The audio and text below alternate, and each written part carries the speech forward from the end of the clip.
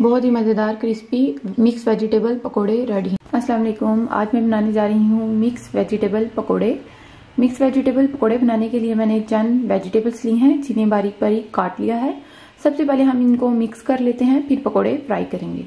एक बाउल लिया है, इसमें सबसे पहले हम वेजिटेबल्स डालते हैं। हाफ़ कप प्याज ऐड कर देंगे, बारीक कटा हुआ। एक लार्ज साइज़ का आलू बारीक कटा हुआ ऐड कर देंगे। हाफ़ कप गाजर ऐड कर देंगे बारीक कटी हुई।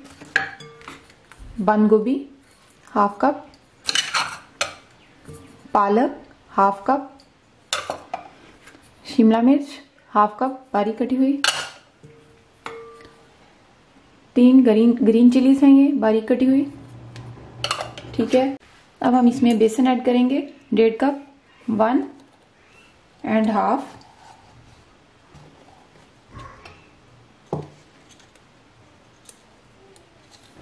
अब हम इसमें मसाले ऐड करेंगे।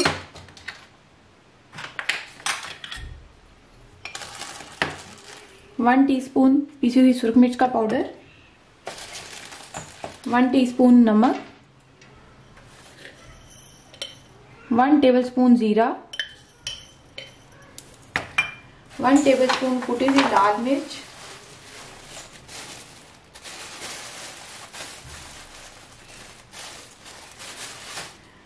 और हाफ़ टी स्पून हम इसमें हल्दी पाउडर ऐड करेंगे, जिससे बहुत ही अच्छा सा कलर आएगा।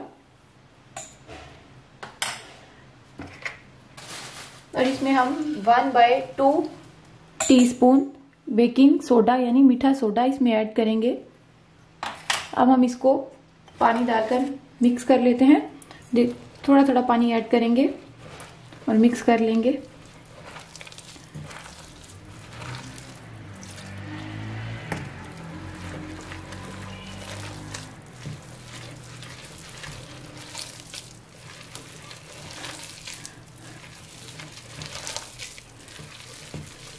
बहुत ही मज़ेदार पकोड़े बनते हैं, आसानी के साथ घर में बनाए जा सकते हैं। जैसे आजकल सब्जियों का सीज़न है और सारी वेजिटेबल्स घर में अवेलेबल होती हैं तो हम इजीली ये पकोड़े बना सकते हैं शाम में इवनिंग टाइम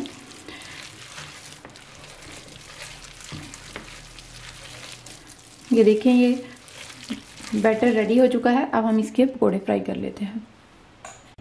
एक पैन में मैंने ऑयल लिया है ऑयल को ऑलरेडी गर्म कर लिया है, ताकि जल्दी से हमारा काम हो जाए। अब हम इसमें पकौड़े डालना शुरू करते हैं। फ्लेम को हम मीडियम ही रखेंगे।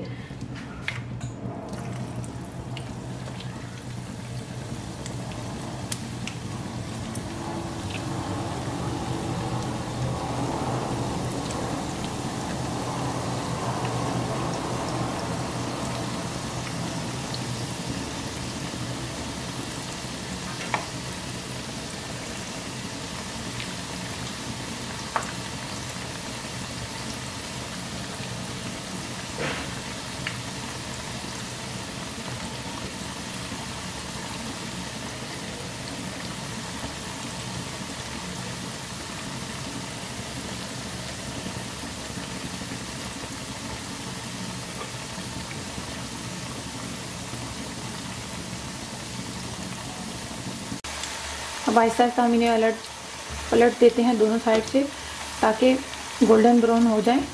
और गोल्डन ब्राउन होने के बाद हम इन्हें निकाल लेंगे।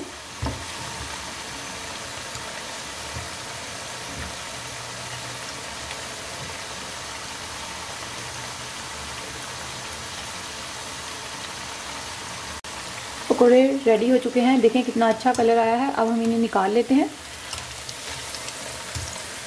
और इसी तरह हम बाकी के जो रह गए हैं उन्हें बनाते हैं और उसके बाद हम इन्हें डिश आउट कर लेते हैं। देखें कितने ज़बरदस्त मज़े के बने हैं। बहुत ही मज़ेदार क्रिस्पी मिक्स वेजिटेबल पकोड़े रेडी